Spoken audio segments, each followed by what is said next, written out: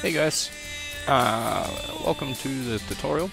Um, okay, so to get rolling, uh, this this is going to be a, a walk cycle, and I'm going to go over this um, as quickly as I can. So, um, so the first thing we're going to do is we're going to start out. I'm going to turn off geometry selection. I don't want to be able to select my geometry actually.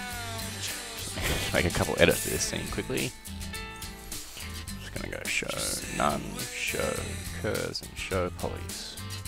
Awesome. Okay. I'm gonna grab this and just zero this stuff out a little bit. There we go. Okay, so to start with, I'm going to um, be animating this character. It's just going to be a, a walk cycle, just a generic walk cycle, and we'll move on to some other um, other types of cycles in a little while. Um, I'm going to try and use a different character for, for each of these cycles, just so we can sort of start seeing the differences that we might find in, in character controls. so to get started, I'm going to decide how many frames I want for this walk cycle, and in this particular case, I'm going to choose 32. So I'm going to have a 32 frame cycle, and I'm going to start from frame 0 instead of frame 1. Now the reason for that is so that I can chop one frame off and still have a 32 frame cycle as opposed to a 33 frame, 33 frame cycle. and it will also help me divide up my keyframes much more evenly. So to start with, I'm going to start with, with one of the legs, and I'm going to start with the leg in the, in the forward position. So it's going to start forward. I'm going to take it as far forward as I can go. As we can see, this character's got a little piston on his leg here, and if I if I start too far forward, that piston pops out of its socket, which is probably not what we want. I've set a keyframe, it's gone to frame 1 for whatever reason. Got that keyframe there, and then I'm going to go to my last frame, set a keyframe, and then go to my mid frame, which is 16 in this case, and move the leg back as far as it can go, so to roughly about there. So now I have this leg going back and forward, as I would probably expect. So I'm now going to go into my curve editor, I'm actually go into my good curve editor. There we go both the same. It's just one's two panes, one three panes. I just prefer the two pane. Okay, so I'm going to press F on this curve. So at the moment I've just got uh, translate Z information. Now all of these other curves have uh, keyframes placed on them because I'm using the S on the timeline to set the keyframe as opposed to right clicking on an attribute and going key selected. Now for a lot of this we'll be doing it by this method as to not uh, root out or not to damage the, the editing that we do to our curves as, as we move along. I'm going to go to this keyframe. And this is a heavy character, so at the moment, if we if we take a look, let's make sure my timeline's playing real time. As we watch now, we'll see that our legs sort of travelling back and forth relatively linearly. There is a little tiny bit of uh, ease in and ease out just because I have my, my tangent handles set to plateau in my animation um, settings. So if we come to animation settings, you can see I've got them set to plateau, and that will just ensure that all of my tangent handles, whenever I place a keyframe, um, will be flat tangents. And I've also checked my weighted tangents so that it will save me save me a click if I have to if I want to weight these tangents. I don't have to select a keyframe and go right click them and weight the tangent and so on and so forth. I can just select them and press my free tangent weight tool and I can just straight away go and start editing the weights. And that's the first thing I'm going to do here. So I'm going to edit the weights on this leg because it's moving too linearly.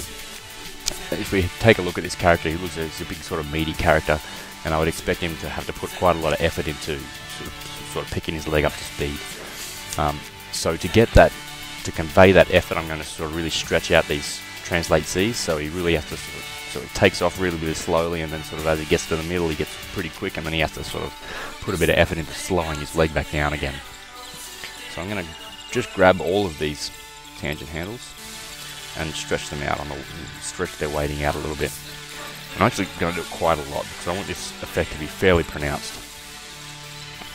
And as we play through, we should see that it's really sort of starting to slow down, but I want it to be even, even more than that. I want it to be something more like that in this particular example. So his leg's really slowing down on the back and slowing down on the front, which is just pretty much just what I'm after. Okay, so now that I've done that, I can go to my translate Y's, and I can sort of see, okay, well, his foot's forward on the front frame, coming back on the 16, so on frame 24, this is where his foot's going to be lifting up, so I'm going to lift his foot up, and I'm actually going to right click on my translate Y and key that selected and that way I'm not damaging it, I'm not adding a keyframe just here. If I was to set a keyframe there we can see that I've got it set to plateau so it's going to try and plateau that out and it's going to damage that keyframe which is not what I want. So I can now come back into here and I can have a look at this, this curve. So the method I'm going to be using today is I'm just going to be sort of going through all my curves as I place, place the keyframes. Um, that way we don't have this big mess of curves that we have to clean up at the end and tend not to do it very very well when you just have a big mess of curves sitting there and you just really don't want to do anything with them. So we're going to work work on the curves as we go and it's going to make our life a lot easier. It's going to take a little bit more time but um, we'll get a much better result. So the leg's travelling back nice and fast and then slowing down um, quite a lot. So I want that same sort of um, effort to be applied for the lift of the leg. So he's lifting his leg, and again it's a relatively heavy leg, so I want that to take quite a quite an amount of effort. And the other thing that I want to try and achieve with this up and down motion is I really want him to be slamming his leg into the ground um, as opposed to sort of coming down gently and slowing and easing and I want it to really sort of smash into the ground just like we do with a ball bounce. So the first thing I'm going to do is I'm going to grab my tangent handle for the for the for the y-axis and I'm going to stretch this up so that it's his foot's careering into the ground. So if we play that back, his foot should look a little bit more like it's stomping now. This curve's still a little bit shallow, so we can go ahead and fix that up in a sec. What I might actually do is I'm actually going to grab this keyframe on 24 and pull it over to frame 28. Yeah, frame 20, yeah, that's right. And I'm going to bre uh, break this tangent handle and I'm going to grab this curve point here and I'm just going to stretch it out so that I can get something that's a little, little bit more like gravity. So his foot should really appear to be slamming into the ground now.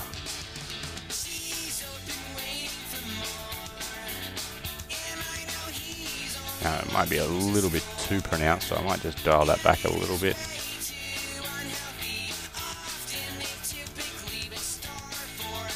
Now he's sort of really sort of popping that leg down, which is just that's kind of what I want to try and achieve here.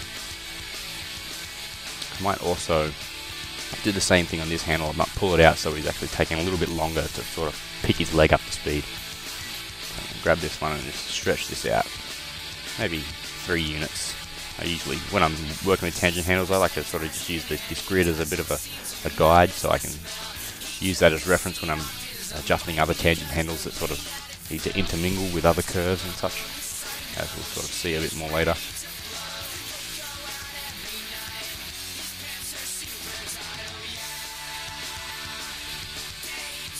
Now, that's pretty good, but I want his leg to traverse upwards a little more, so he's not really going close enough to clipping his, his geometry, so I really want him to sort of stomp down on this bar here, so just going to pull that curve up there, make sure it's not clipping, and it's just not clipping, that's awesome, it's just what I want. Now, we have a look, I might need to adjust this curve here again.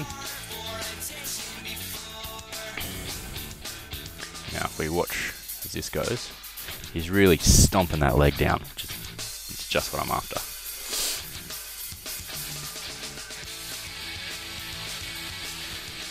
might dial that back just a fraction. Dial that stomp back just a little tiny bit. Just sort of smooth it out a little bit so it's not quite so rough, and that's that's much better. Just small edits on these curves can make a huge difference. So um, it's a good idea to, to sort of keep in mind the power of this curve editor and how easy it is to sort of damage your animation and make it look jumpy by just sort of adding keyframes and not really worrying about um, how the curves are looking. Because if the curves look bad, then nine times out of that, nine times out of ten, so will the animation. Okay, so I've got this leg doing what I need the leg to be doing. Now it's sort of time to focus on what I want the foot to be doing. So from frame frame uh, 0, I want the foot to be sort of up a little bit. I'm just to sort of place this part where I need it. Frame 16, it's going to be opposite. So foot's going to be sort of tweaked up.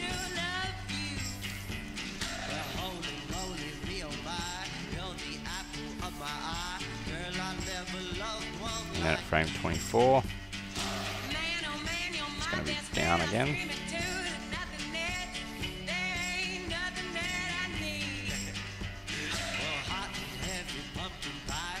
Okay, so I've done that bit, and again, it's a matter of just going into the curves and adjusting the, the stuff that I've done, so it's on the rotate Z in this particular example. And I'm going to smooth these curves out, I'm going to spline them. I'm going to grab both of these and press the spline tool, and that basically just tries to um, match each side of the tangent handle with both the incoming curve to the keyframe and the outgoing curve from that keyframe. So, as we can see, this has tried to to match the two tangent handles, and that will usually give us a nice smooth curves as opposed to something that looks a little more less smooth. And we'll see sort of how that translates as we go along. Now, I'm going to need another keyframe at around about 8. And this keyframe at um, 8 is going to be um, a null keyframe, so it's going to be it's actually probably going to sort of snap at 4, but I'm going to take it from 8 to start with. And this is where I want my rotation to be non-existent, so in this case it's minus 90. I'm going to set a keyframe on that. And I'm going to grab my my foot and I'm actually going to push it down to the ground.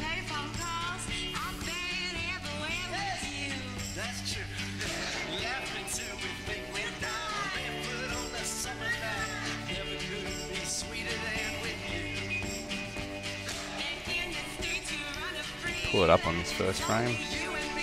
Really want him to sort of look like he's pushing down. And I'm going to try and take care of any clipping that happens with this uh, foot section sort of as we go along. And again, trying to make sure that my curves are relatively curved. The spline tool doesn't always um, spline your curves out with a nice curve as you'd expect. Now, I mean, we could get this with uh, a weighted tangent, um, but for the time being, I'm just going to uh, not worry about that. Um, we can always come back in and get rid of that if we need to, but this is working pretty well. Now, this is going to need to happen at, so this is going to be minus 90, and it's going to be flat on the ground. I want to put to be flat at frame 4, so just, just sort of slapped it down.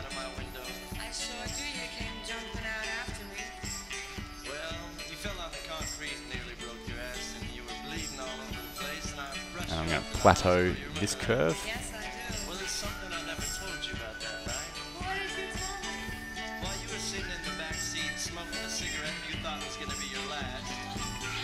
Okay, cool. So now I'm going to grab the toes. I'm relatively happy with that. I'll just sort of double check and make sure it's playing back as I would expect it to.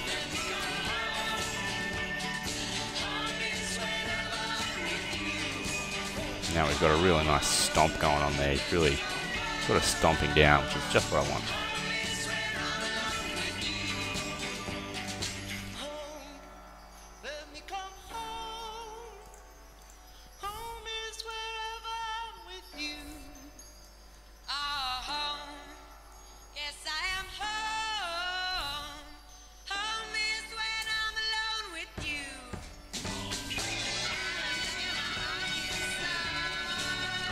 Actually made a mistake, but it's actually making it look better. So I might actually go with that mistake. The mistake I've made is I've got um, this keyframe at the end is not the same as this keyframe for whichever. I think it's up and down. Translate Y's. Yeah, so that's where the problem's happening. So this keyframe is not set to the same as this one at the end. I'll remedy that for now, and I might be able to come back and fix that later on.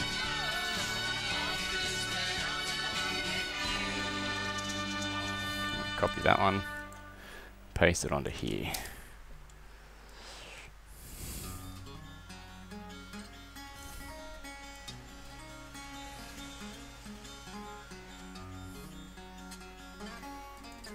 I may need to adjust that later on, but we'll go with that for the time being.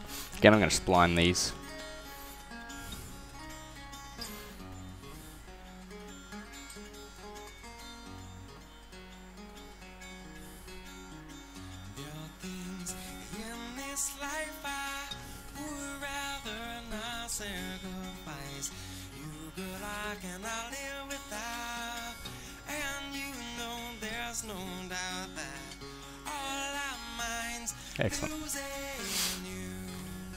So now I'm going to work on the toes.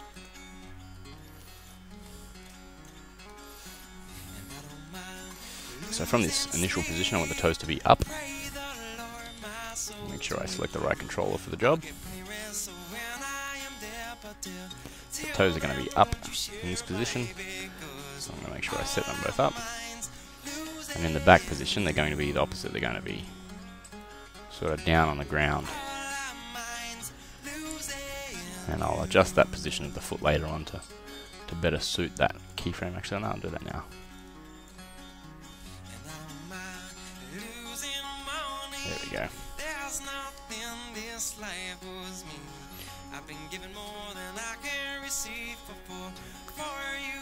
So all I'm So these are going to be like so on frame 8. That'll actually happen much quicker. That'll happen on about frame 4.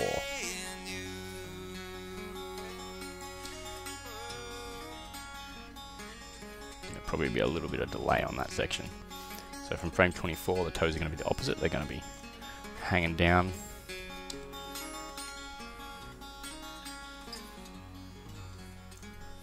And then, like sort of like so. Nice, graceful. Some of that sort of floatiness will come out when we um, do a little bit of offsetting and stuff with the with the toes and such. So now I'll work on the back back one. So from this position, the, the toe is going to be up relatively high. Now it's clipping through geometry, but I'm really not going to worry too much about that. Um, you can probably get away with not noticing that so much. It's not clipping too badly, so. so I'll set the keyframe there, and it will be the same for that end keyframe. For this keyframe, I want the toe to be again touching the ground, so he's like sort of clawing the ground on the back step. Frame 8 is going to be like so. Frame 4, I want this to be clamped on the ground as well.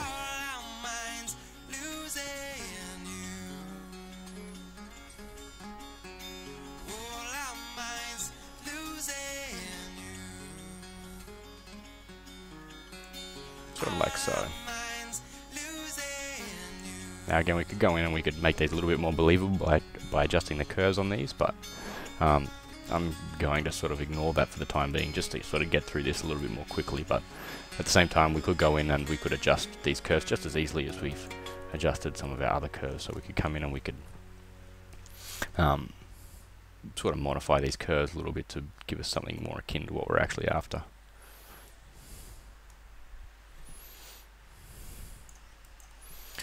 Keyframe's kind of unneeded.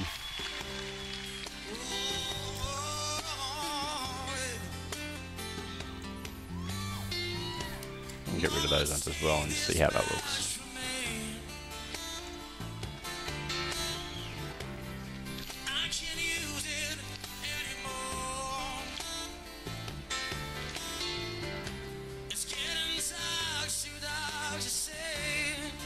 I'm just going to leave it like so.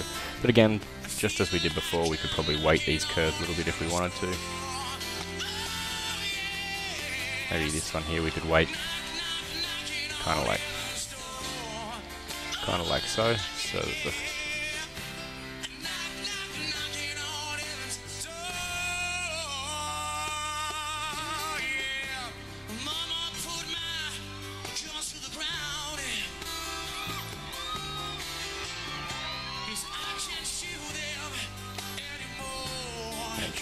start and end positions are the same. They are.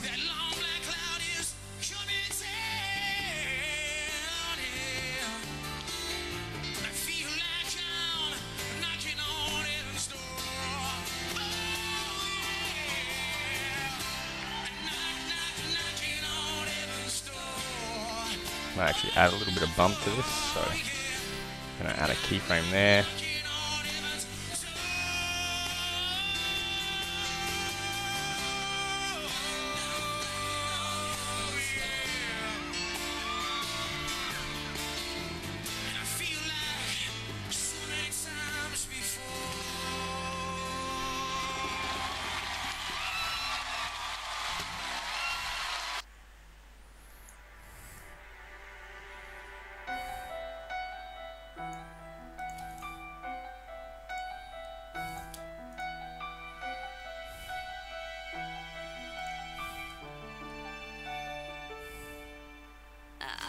Always needed time on my own.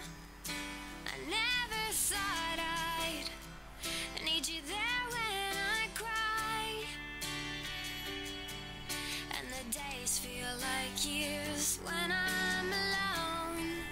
And the bed where you lie is made up on your side. When you walk away, Actually, I'll do that. I'll add that little bounce later on. I'm happy with how that is for the time being. We can tweak it as we as we go. I'm gonna add try and add a little bit more weight with this foot. I'm going to pick pick this section here up, and then at frame four, I want to really squash in.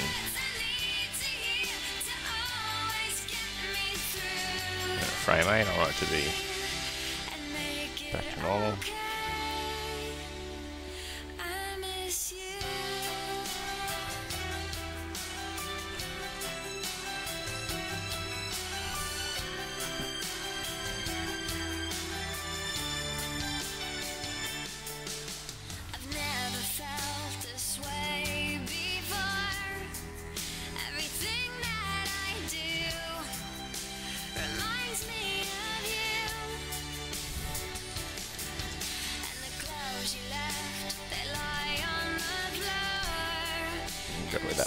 Now?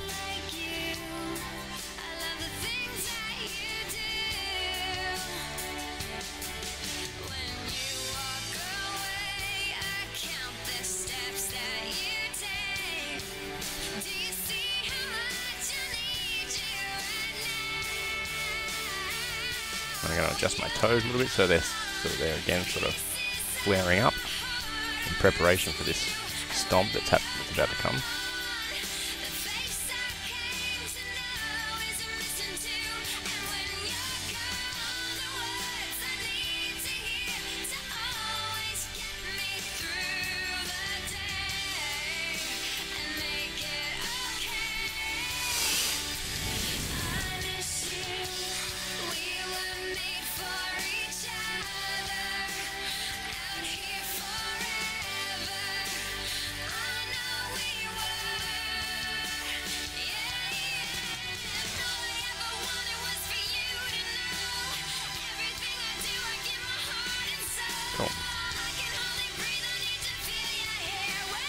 me. Yeah, this could probably even happen a little bit slower, but we'll just go with this for now.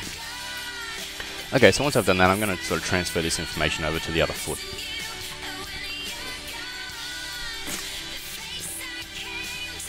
Alright, so when we come back, we'll go over copying this animation from one foot to the other, and then we can work on other things such as our um, x-axis and the curves on the foot and all that sort of stuff as well. So we'll be back in just a little while. Okay, so welcome back.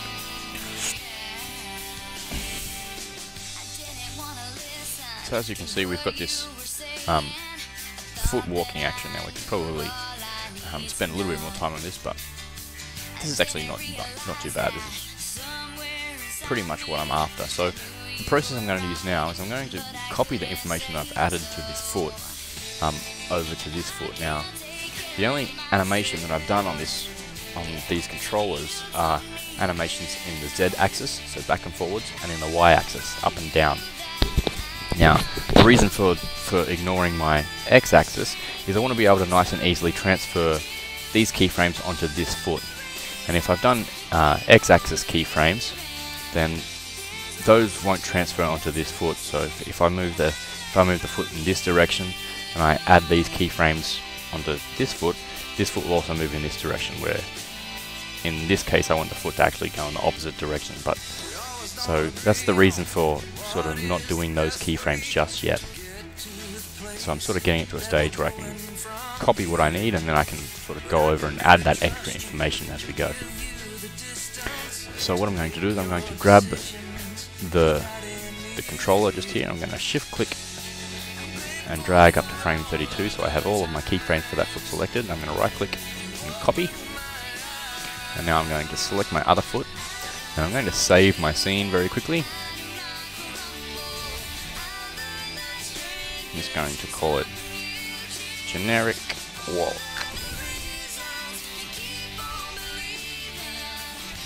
Okay, so now what I'm going to do is I'm going to go to frame 16.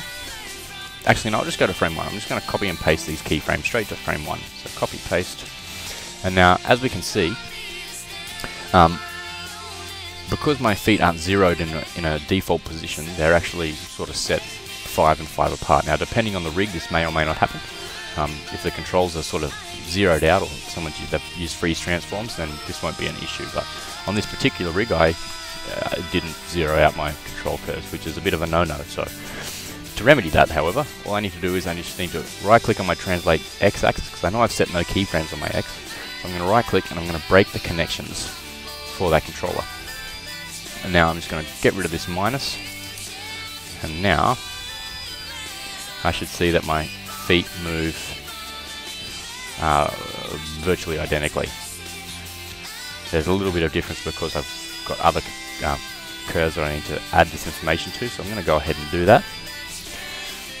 I'm going to grab this curve, actually, sorry, this one, grab all the keyframes off this one, I'm basically just going to sort of copy and paste everything straight over to the other leg so they're both doing the same thing, and then we'll work on the offsetting. So I'm going to paste. So again, I need to go in and break the connection.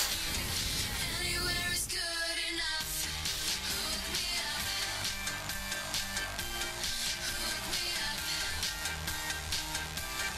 Hook me up. Another soundthemes.com exclusive. Just going to edit this one a little bit.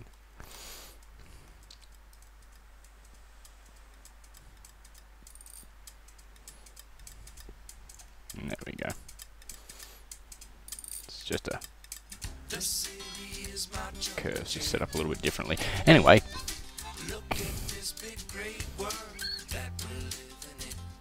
so we've got most of these feet controls working. Just need to grab this back one, copy and paste this one on. Copy, paste, get rid of the X. cars and buses too. All the big kids going to school. I'ma get a treat from the ice cream man. Catch me, catch me if you can. It's a jungle jam.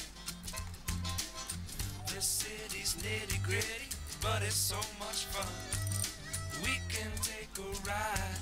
Go tell everyone it's a jungle jam. It's a jungle jam. Sha la la la la la la la la la la la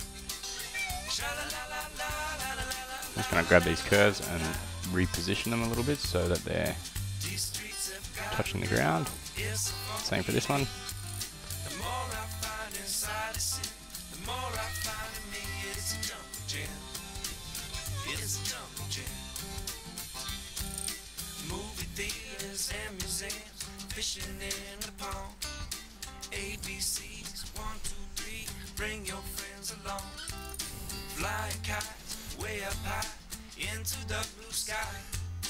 We can take a ride, just you and I. It's a jungle jam.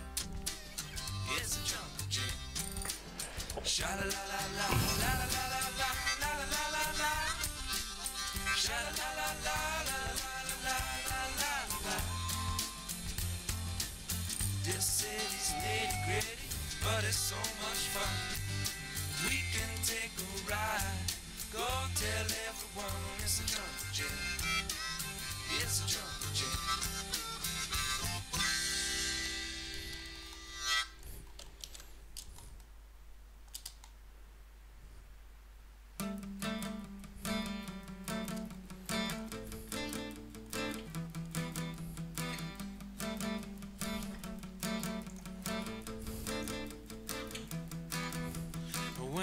a kid, I grew up in a house on a hill, not the top, not the bottom, but the middle. And I still remember where I cracked my head in the vacant lot. There's a row of tiny houses there now, and we used to light fires in the gutters. And I could cool my head on the concrete steps, but the girl down the street hit my sister on the head with a stick, and we hid behind my father as he knocked parents' door to tell him what she did. But the parents So just sort of re sort of re signing this curve so that it's girl down the street said a dog couldn't bark Cause a man with an axe cut its voice barks out. But my older sister told me that it probably wasn't true. And I believe what she said Cause she took me by the hand one time When a couple men drove down the hill in a white van. Said there was a phone box filled with money round the corner And I would have gone along. But she took me by the hand to the house in the middle of the hill The middle of the hill, the middle the hill. And our mother knew the words to a lot of different songs. And we'd always sing the harmonies when they'd sing along. She had cool, cool hands when the fever hit. Then the noises that the trains made sounded like now we've got the feet roughly doing the same thing. through the pictures in the grains on the pine wood boards. The last keyframes are the same. So what I'm going to do now is I'm going to grab all of these all of these components. It's all the components on that foot. And I'm going to come into my graph editor. And what I'm going to do is I'm going to grab all of these curves and move them directly over to frame 16. So they start from frame 16. So one foot won't do anything, but we'll now we'll have this offset where the other foot's doing what we need it to. So what I'm going to do is I'm going to extend my timeline to frame 48 in this case, which is the end frame. And I'm going to grab everything in between and including frame 32. Now the reason I'm doing this is frame 32 is, as we've sort of moved all these keyframes so they start from 16, um, at the midpoint of our cycle was 16 initially, so seeing as 16 is now our start point, we need to go 16 frames over, and that's now the midpoint of this part of the cycle. So I need to grab all of this information, and what I'm basically doing just picture it like this. I'm chopping off this part of the curve and placing it on the other side so that from frame zero, it's actually playing from the halfway point of this cycle. Um, and that will effectively give us the offset that we desire for this animation. So I'm going to grab from frame 32 to frame 44. I'm going to copy those and I'm going to paste them from frame 0. And now I'm going to delete everything after frame 32 And set my timeline back to frame 32. And now,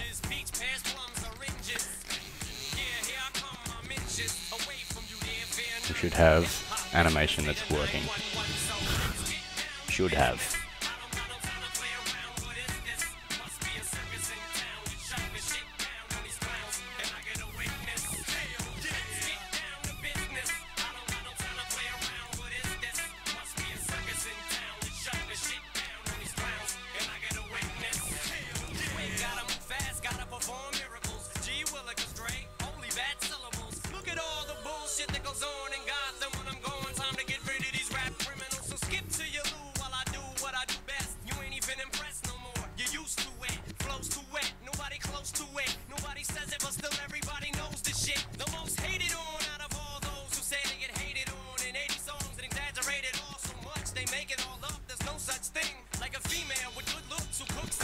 These.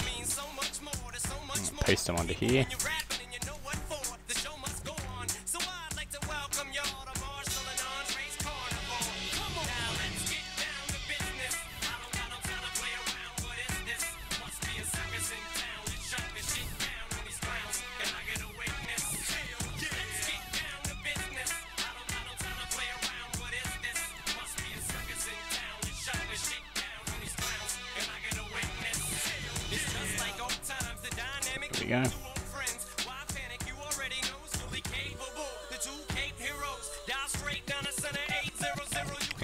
For the most part we've got the keyframes on each each side of the feet. Now there's an issue here where the start frame's not the same as the end frame. So the feet are splayed in the end frame on that one, but they're not in this one. So I'm going to grab all of these control curves and I'm going to just make sure they're the same just by setting a keyframe at the end.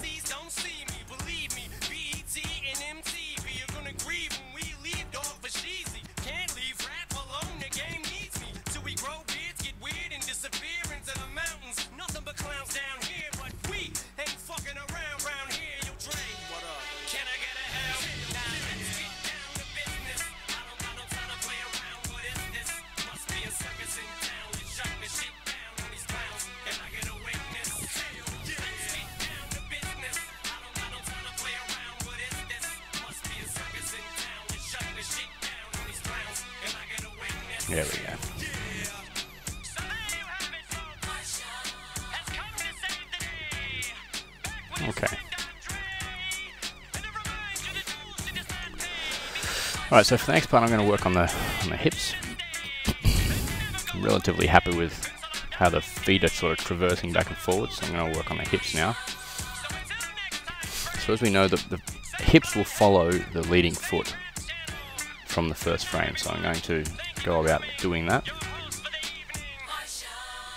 And then at frame 16 I'm going to make sure that I've got symmetrical animation here. I don't have to, it's just something I like to do. It tends to lead to smoother animation. So at the moment here we're just rotating around with each part, which is exactly what we want. So the next part happens on the in-between frames, and that's when the leg that's raised, the hip falls in that direction. I'm going to add a little bit of fall. I'm going to middle mouse click drag to frame 24 so that I can just take the minus away on this one. I'll get the exact opposite rotation and then I can just set that keyframe. Keep in mind um, what I've done is something I have a bad habit of doing. I have forgotten to go and select my gimbal controller for my rotation now. Seeing as I've done that and I've already started doing animation, um, it's sort of got two options. Either I can restart the animation with my gimbal controller or I can just forget about it and just continue using this one. Um, because if we switch to one now, then our animation is, is undoubtedly will be broken somewhere if we use two different types of rotation controllers. So I'm just going to stick to this one, figure out which one it is. It's the local rotation controller. So I'm going to make sure that I use my local rotation controller for this whole animation. Okay, so now we should see that we've got some rotations happening as we as we would like them to. Now the body's rotating as well, um, so we're going to need to sort of counteract that rotation, um, but we'll get to that in a little while. I'm also going to add my up and downs on the hips, so on frame 8 is where the down is going to happen. And again, I need to make sure that I'm not clipping animation too heavily. A little bit of clipping is okay, we can deal with a little bit.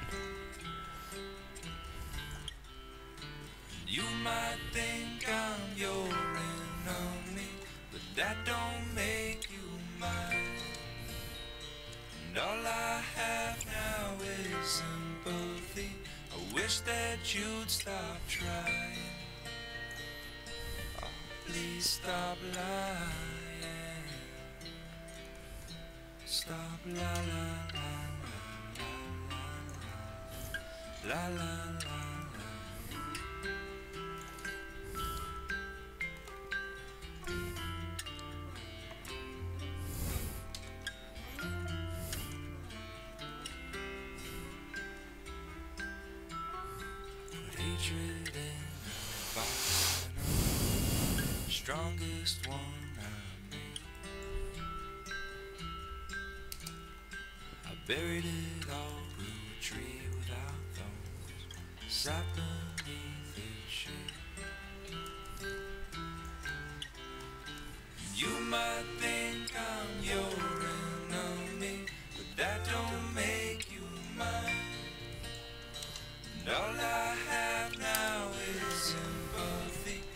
Wish that you'd stop trying.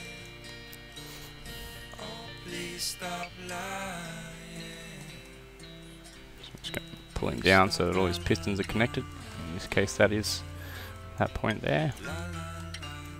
And I'm going to lower these sections for when he's sinking through the ground. Now that's a fraction low. so I might not go quite so deep.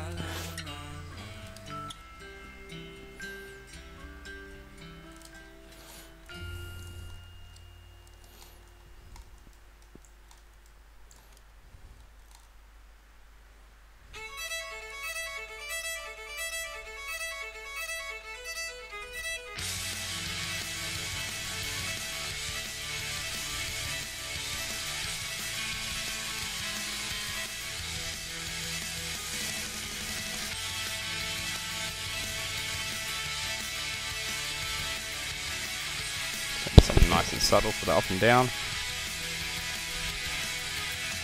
Think about the love inside the strength of heart. Alright, so now I've done all the The animation I'm going to do on here. Oh, well, actually, I'll do the translate X as well. Sorry.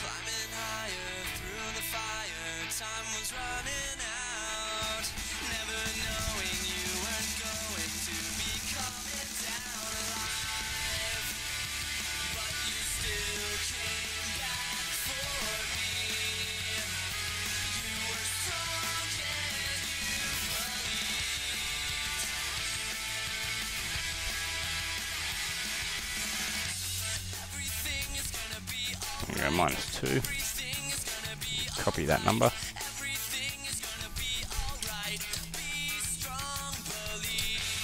I'm going to edit this curve so that it's a nice matching curve on both ends.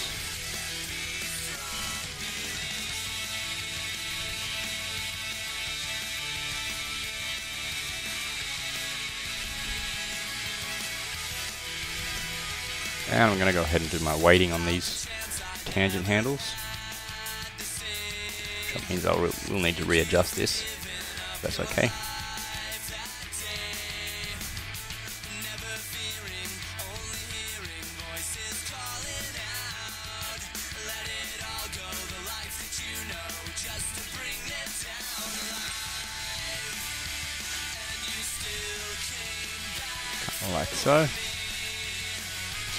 Heavy walk this. Really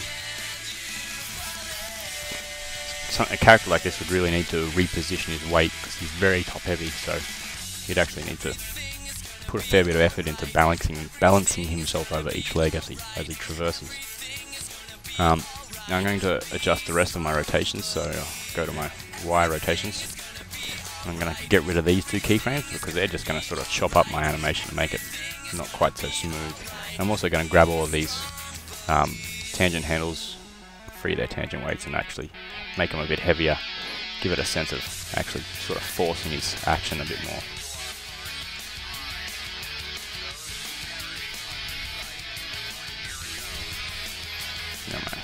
These rotations as well, just the same as I did before. Actually, I'll weight the tangents first because then I have to come back and do those parts anyway.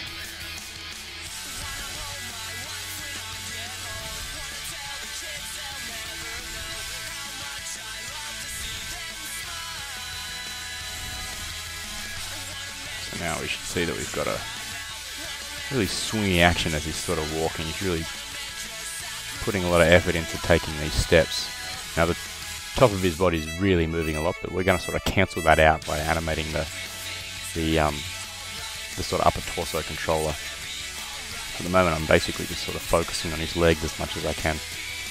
Now, I'm going to add a little bit of X direction to these to these legs. So this position here to frame 16, I, want, I need to move inwards um, a little bit. So I'm going to go to my rotate, translate these ones. And move these in a fraction. Not a huge amount. I want it, don't want it to be too feminine, um, but I do want them to come in a little bit. If he's sort of trying to step in line. And this end frame will go back to there as well. So at frame 24 on the translate X, I'm going to set a key, and then I'm going to grab information off this curve because I want this curve to be back at that point. So I'm going to copy that, select that keyframe, and then paste that information in. in a lot of situations we were all speaking Then we should get the legs swinging out as it's coming back around. I might actually make him flare his leg out a little bit more than you would expect. There we go. We've got a nice sort of curve happening there where he's really sort of swinging his leg out before he comes in for the stamp. And again, I'm going to grab these tangent handles and just weight them.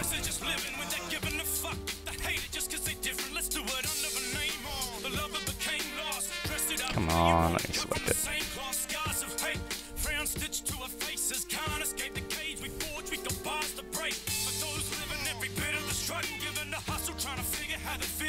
There we go, a nice sort of smoothed out. So now we need to do the same thing with the other foot.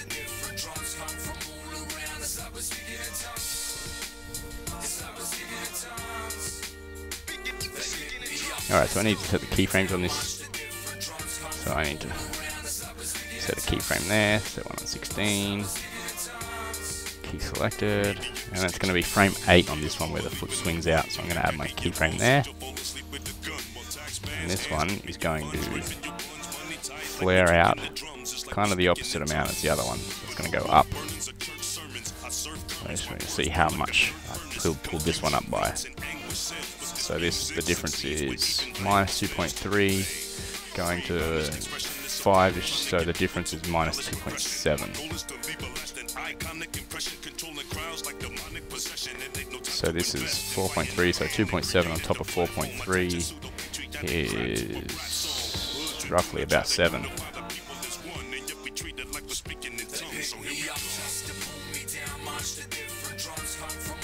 And on top of that, the whole lot's going to come in as well.